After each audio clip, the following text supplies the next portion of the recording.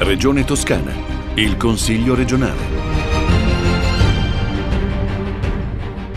Benvenuti a un nuovo appuntamento con il Consiglio regionale della Toscana, la nostra rubrica di approfondimento settimanale che racconta le attività del Parlamentino della Regione Toscana. Noi andiamo subito.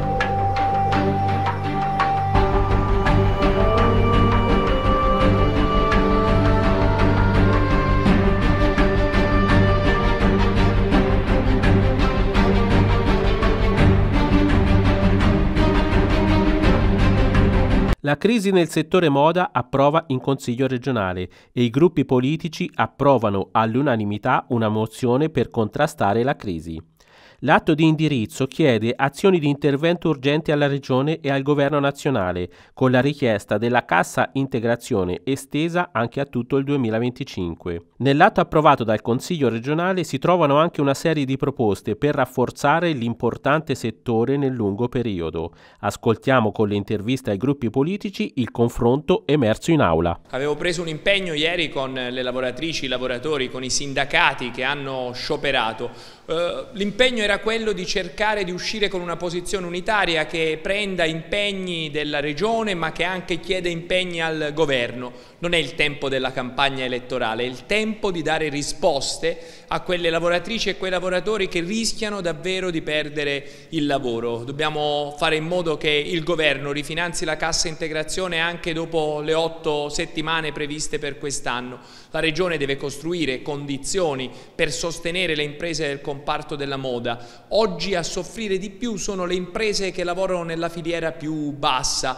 e sono soprattutto quelle lavoratrici e quei lavoratori che rappresentano un patrimonio eh, unico a livello nazionale e internazionale. Compito nostro delle istituzioni è mandare un messaggio forte di unità, così come hanno fatto i sindacati e sono orgoglioso che l'Assemblea legislativa abbia accolto la mia proposta e l'abbia trasformata in un atto concreto.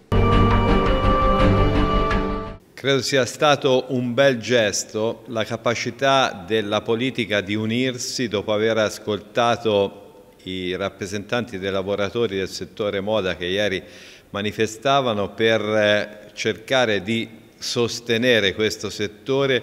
e cercare di aiutare le imprese a superare questa crisi e quindi a continuare a dare occupazione. La sintesi di questa collaborazione, che ha visto un voto unanime di tutto il Consiglio, è racchiusa in un documento dove accanto alla solidarietà ai lavoratori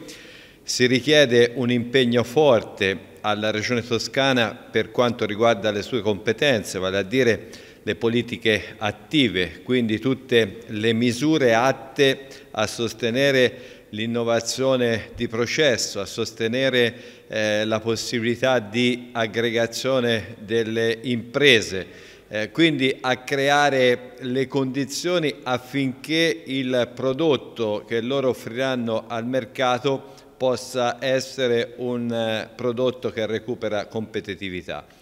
Le altre richieste invece sono rivolte al governo e sono richieste che riguardano il prolungamento degli ammortizzatori sociali, l'allungamento e l'allargamento a tutti i lavoratori della filiera della moda della possibilità di avere cassa integrazione, il favorire e mettere a disposizione strumenti di sostegno al credito per quanto riguarda eh, le imprese che si trovano in eh, difficoltà,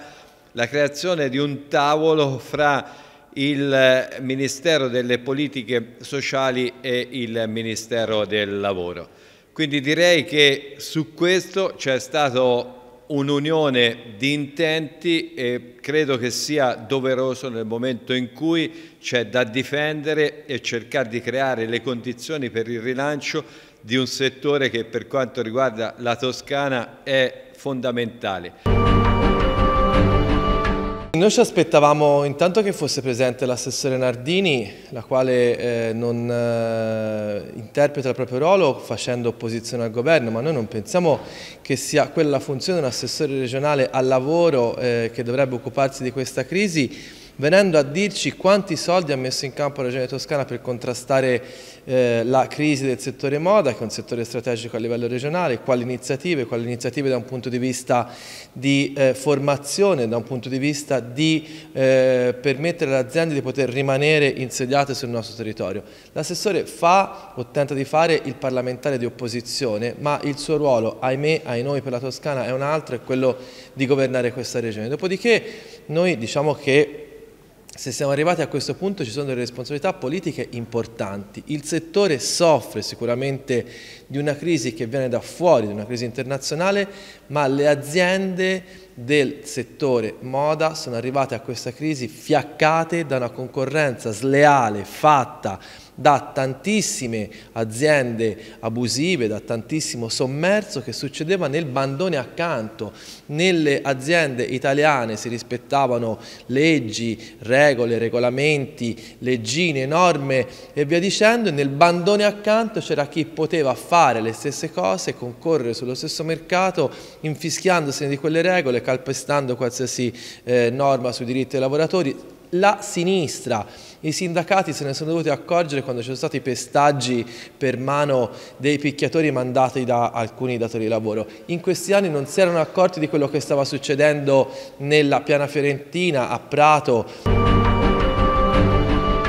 dovere politico da parte di tutte le forze politiche che rappresentano il Consiglio regionale, un dovere dopo aver ascoltato ieri i sindacati, un dovere che arriva però da lontano perché la seconda commissione su mia sollecitazione si era già occupata più volte della crisi del settore, aveva avuto modo anche di udire gli assessori ed iniziare un percorso appunto per cercare di dare un contributo attivo e fattivo su, su questa crisi una mozione appunto che va su due binari paralleli, il binario del breve periodo e quindi senza far nascondere la, il, quello che deve fare il governo e quindi eh, oltre alle otto settimane di cassa integrazione che ha già confermato per il 2024 fare un ulteriore passo in avanti anche per il 2025, quindi un ulteriore aiuto per tutte le imprese e quei lavoratori che in questo momento eh, non sanno quale sarà il proprio futuro e poi anche un settore più a lungo termine, oltre a quello della formazione, oltre a quello del lavoro, quindi oltre a tutte le competenze regionali,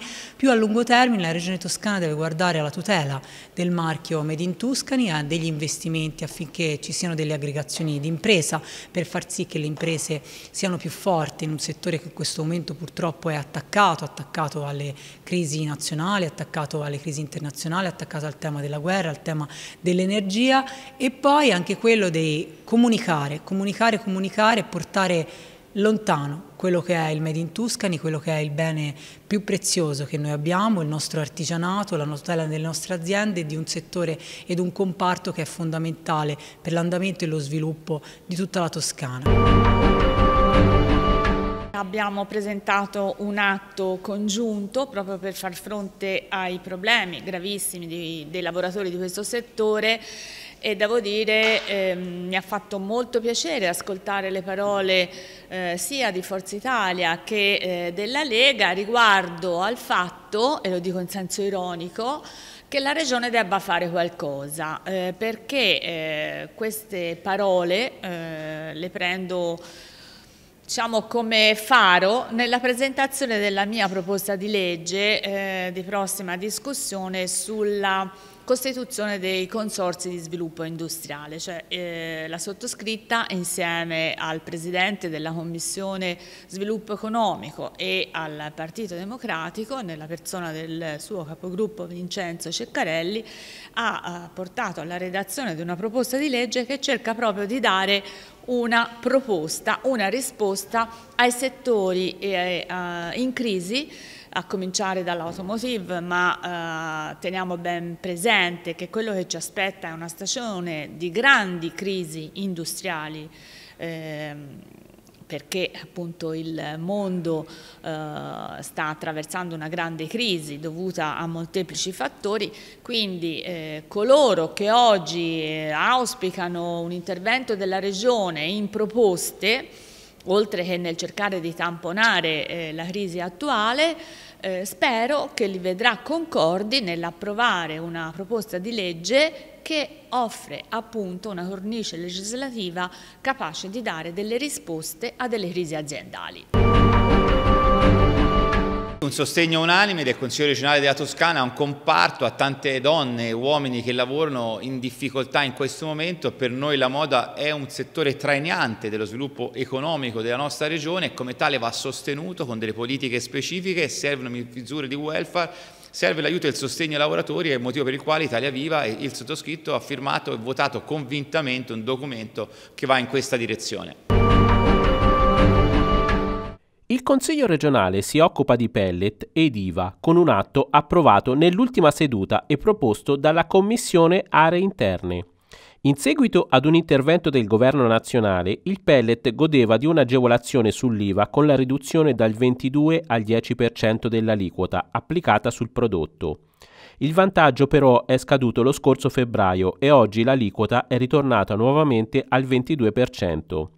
Il Consiglio regionale, con un atto approvato in aula con 26 voti a favore da parte di tutti i gruppi politici, ad eccezione del Movimento 5 Stelle che ha espresso voto contrario, chiede alla Giunta di attivarsi nei confronti del governo centrale affinché già in occasione della prossima manovra di bilancio per il 2025 venga ristabilita l'aliquota IVA agevolata al 10% per l'acquisto di pellet. Si tratta di una misura che garantirebbe un supporto concreto alle famiglie, in particolare a quelli residenti nelle aree rurali e montane che utilizzano questo combustibile come principale fonte di riscaldamento, dando anche un contributo all'impiego del combustibile sostenibile rispetto alle fonti fossili. Una questione molto rilevante sia per le famiglie sia per le imprese forestali. Sappiamo che si è diffuso sempre di più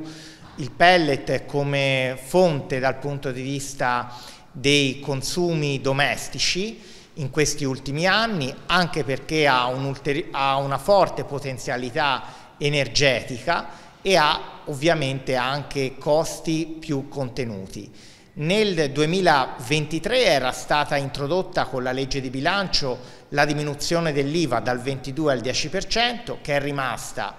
solo nel 2023 e poi nel gennaio e febbraio del 2024. Siamo ritornati all'IVA al 22% e molti cittadini, molte amministrazioni comunali delle aree montane dove chiaramente i bisogni dal punto di vista del riscaldamento sono maggiori e dove il pellet è una fonte sempre più utilizzata e anche devo dire le imprese del settore forestale per i quali ovviamente la produzione di pellet è un elemento più, molto importante dal punto di vista produttivo, chiedono alle istituzioni di reintrodurre questo taglio dell'IVA. Ecco, noi come Consiglio regionale abbiamo voluto porre all'attenzione del Parlamento e del Governo questa necessità importante per le famiglie, per le aree montane e per le imprese di questo settore dove appunto questa tassazione al 22% non fa che scoraggiare l'utilizzo di una risorsa sempre più importante per tante famiglie. È una proposta interessante che nasce nella Commissione Arie Interne, devo dire passata all'unanimità. Questo perché il pellet è un materiale a uso per il riscaldamento che viene usato soprattutto nelle zone montane dove il trasporto del prodotto energetico, perché il metano raggiunge pochissimi centri montani e non solo, devo dire, anche nelle campagne più prossime, e quindi il trasporto del GPL innalza di tantissimo il costo del riscaldamento. È un prodotto peraltro legato al bosco, è un prodotto che in qualche modo crea economie da quello che sarebbe lo scarto e la lavorazione del legno, mette in condizione le famiglie di potersi riscaldare per un periodo più, più prolungato perché dobbiamo considerare che in montagna l'inverno inizia prima e finisce dopo, quindi riportare al 10% l'IVA piuttosto che al 22% come è tornato ad essere da, da, qualche mese è una proposta veduta che va incontro alla necessità di vivere in, quel, in quei luoghi considerando anche che eh, l'aspetto economico eh, delle famiglie che hanno fatto questa scelta o che sono rimaste per l'impossibilità di muoversi è più basso di quello diciamo, della città. Quindi abbiamo sostenuto con convinzione e speriamo che il governo sia così lungimirante da approvare e riportare l'IVA al 10%. Siamo giunti al termine di questa puntata del Consiglio regionale della Toscana, la nostra rubrica settimanale che tratta i temi del Parlamentino della Regione Toscana. Noi ci fermiamo qua e vi diamo appuntamento alle nostre prossime edizioni. Regione Toscana, il Consiglio regionale.